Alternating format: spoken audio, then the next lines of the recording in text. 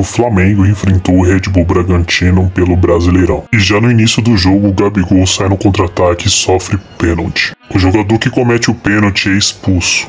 Gabigol vai para a batida e chuta na trave. Em um lance seguinte, Gabigol recebe boa bola de Arrascaeta e não desperdiça dessa vez. A torcida agradece. Arrascaeta, como sempre, está jogando muito e acerta um chutaço onde o goleiro faz uma ótima defesa. Flamengo tenta chegar com Everton Ribeiro, que acerta o goleiro novamente salva o Red Bull. O time do Flamengo vem no tic-tac tentando abrir a vantagem no placar e a bola passa perto. O Vidal até tentou, mas parou no goleiro do Red Bull.